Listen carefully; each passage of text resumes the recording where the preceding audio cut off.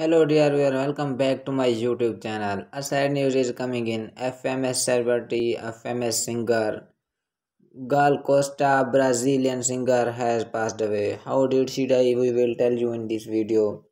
But before you giving detail, it kindly to subscribe to my YouTube channel and press the bell icon for more videos.